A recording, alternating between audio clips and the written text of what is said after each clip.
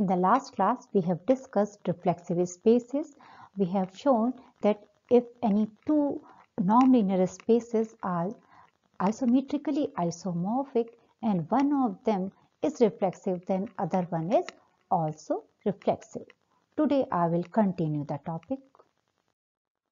Today we are going to prove a theorem which states that a closed subspace of a reflexive Banach space is reflexive.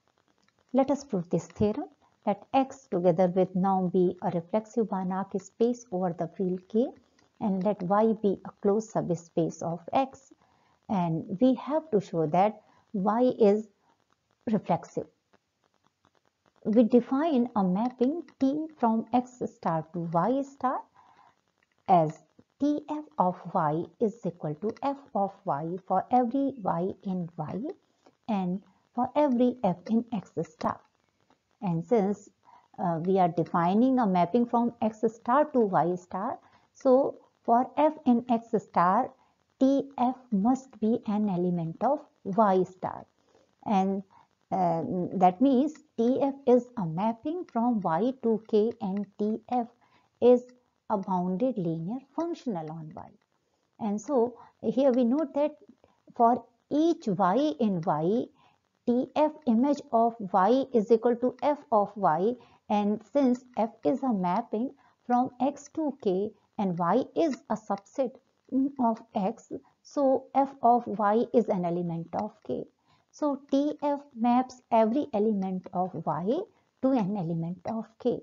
So tf is a mapping from y to k and we also note that tf is a restriction of f to y because f uh, maps every element of x to f of x. Uh, and um, since y is a subset of x um, so um, here uh, f um, tf maps every element of y to f of y. And so uh, we note that uh, tf is nothing but the restriction of f to y.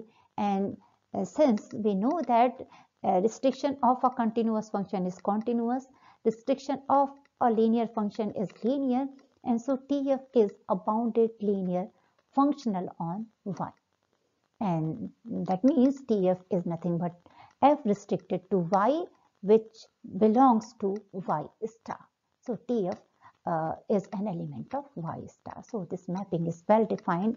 Here we also note that T is onto because for any Y for any g in y star, if we take any element of the codomain here, g belongs to y star, there exists uh, f belongs to x star such that f of x is equal to 0 for every x um, belongs to x minus y and f of y is equal to g of y for every y in y. So clearly this mapping is onto. Now we show that T is linear for any alpha beta in K and for FG in X star.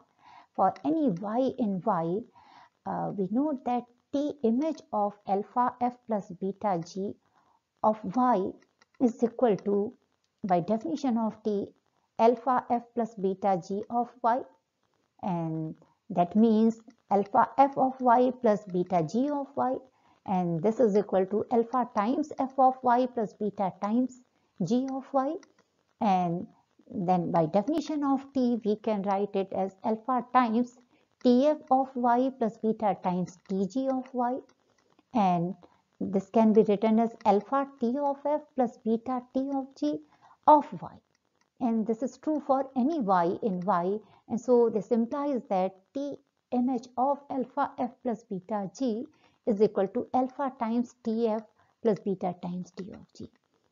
Thus, we have shown that T is linear. Now, we show that T is bounded.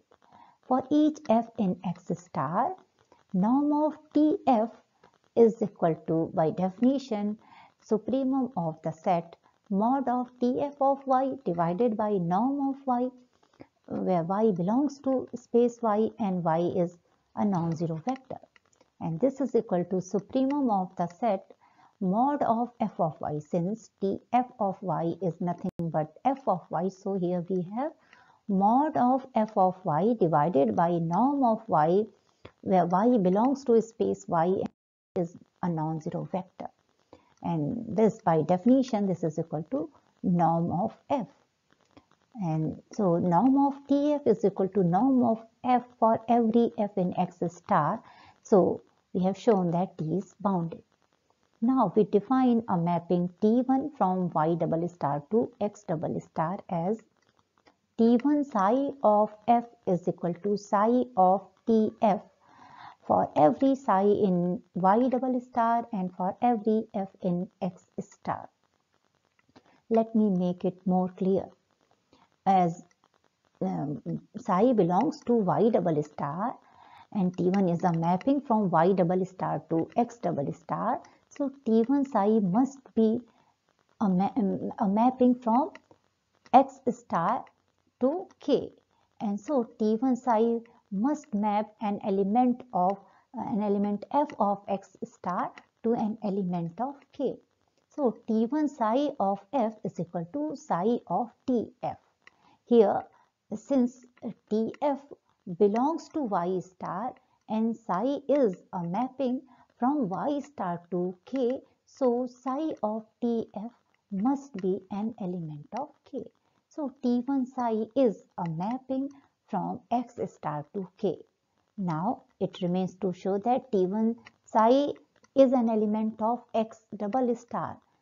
That means we have to show that T1 psi is a bounded linear functional on x star.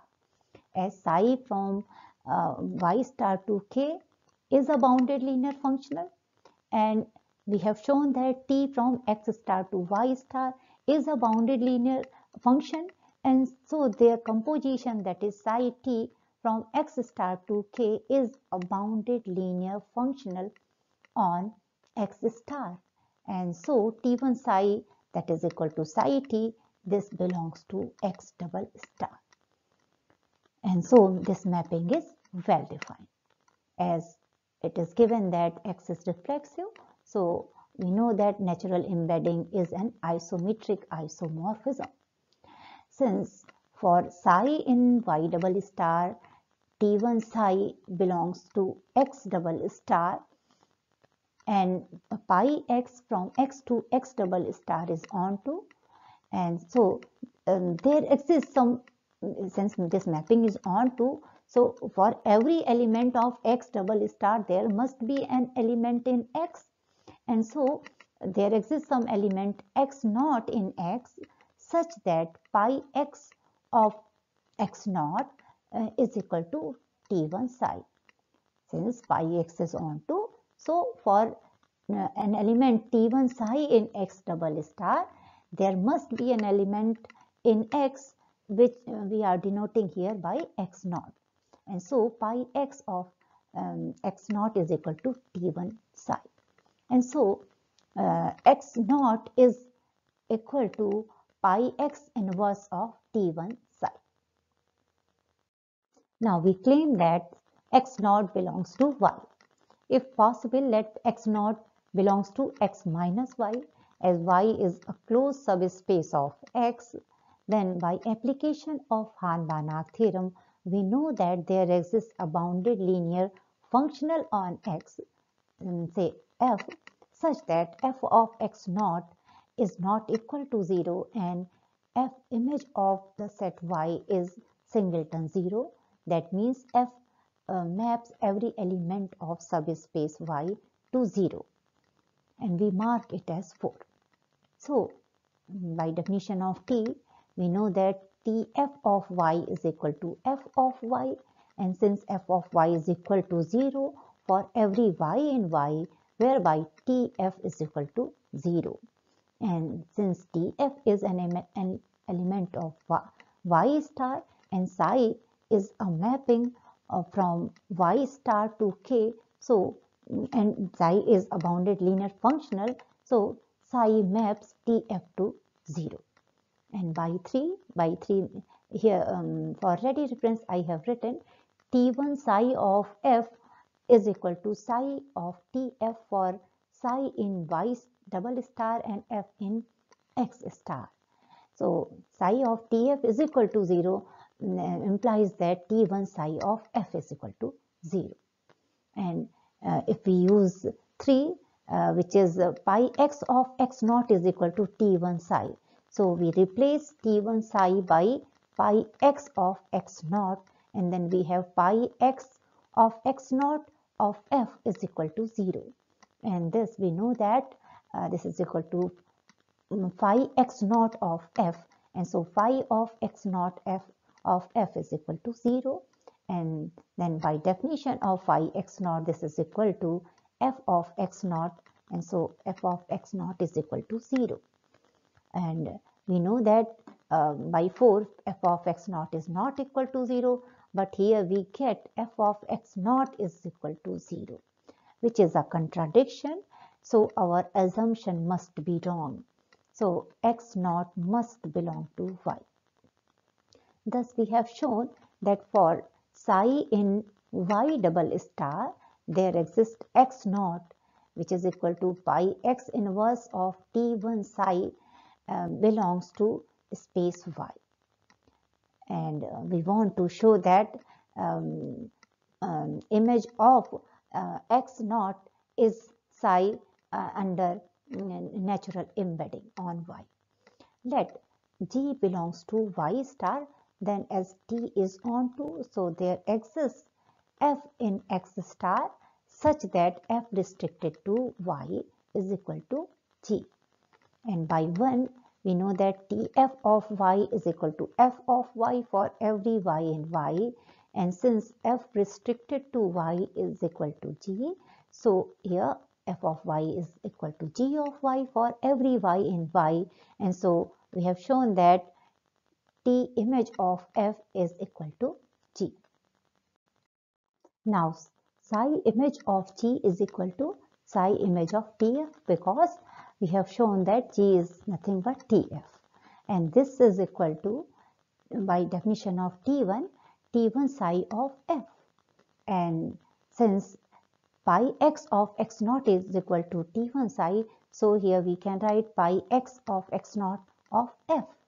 And this we know that pi x of x naught is phi x naught so we have phi x naught of F. And by definition of phi x naught this is equal to f of x naught. And since x naught belongs to y and f restricted to y is equal to g so f of x naught is equal to g of x naught. And this is equal to mm, phi x naught of g. For each g belongs to y star. And so we have shown that phi x naught is equal to psi whereby pi y of x naught is equal to um, phi x naught is equal to psi. So we have um, uh, shown that for psi in y double star there exists x naught such that pi y of x naught is equal to psi. That means pi y is on 2. Hence y is reflexive.